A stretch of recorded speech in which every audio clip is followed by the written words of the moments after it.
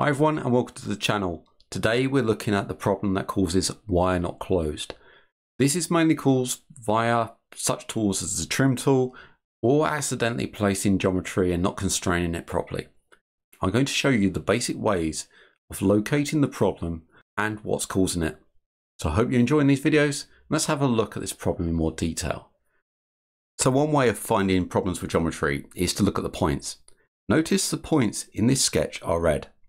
Now I can't pad this at the moment because we have these intersecting lines here. So if I was going to trim this and trim out these two lines here, you notice something. We've got a white and a red point. I'm just going to hit Control Z and do that again.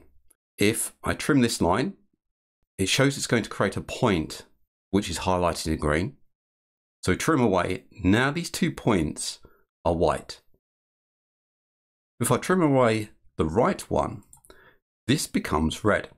The white points are unconstrained. If I right click and drag this point, it looks like it's connected.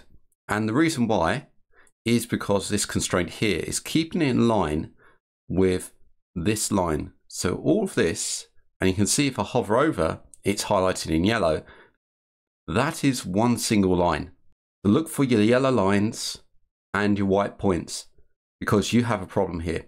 If I click on this constraint and delete it, hitting delete on the keyboard to get rid of it, now I can drag this down and you notice this line is on top of the other one.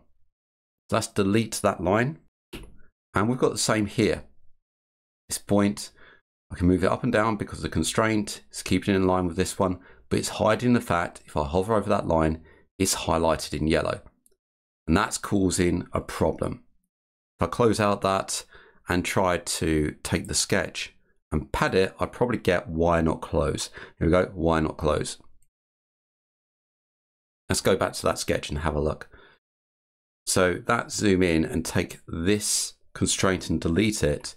And straight away, when I move this out, you can see that we have this line in here, which is correct, and this line, which is connected to nothing.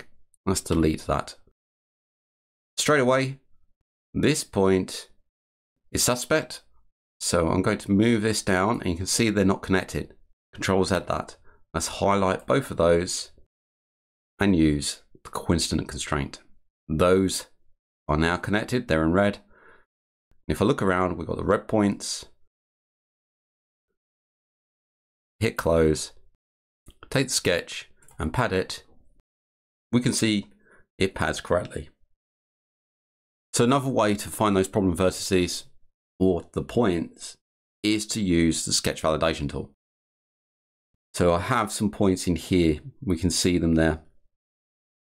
If I click on the sketch, come up to sketch and validate sketch, this is the one we're interested in. Highlight troublesome vertices. If I click that,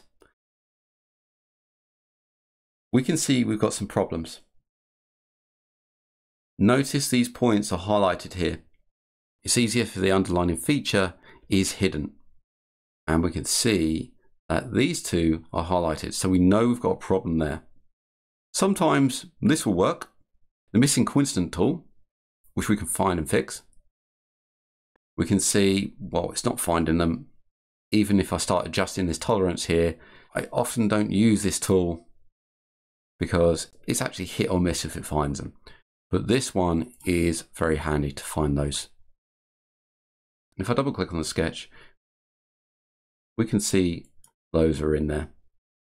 It's just a case deleting the constraints nearby and seeing if we need it or not. Let's take this one and delete that. And if I hover over that, we can see it's yellow. Hover over this side, we can see that there is a break in here.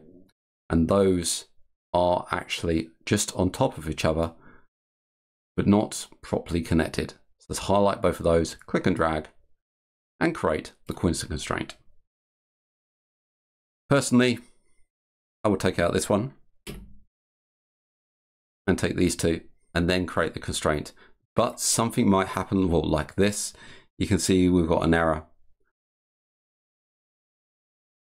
We have something going on in here somewhere. So let's control Z that and have a look. So if I pull this one this way, we can see we've got some kind of equality or something keeping this point in line with this one. Now, the one that's keeping it in line is this one here. I'll bring this up. Notice how this keeps on this line. So we've got a point on object constraint or a point on line constraint here. And it's actually on this line. So it's in line with this line, though it's separated. And this can cause us problems as well. So we need to be wary of this. Though this is separated, there is no such thing as a floating constraint. It's going to be constrained to something. Um, so unless it's there intentionally, if we delete that, click on it, press delete on the keyboard, then we have our final constraint. And use a coincident constraint against that, this one here. Just press C on the keyboard.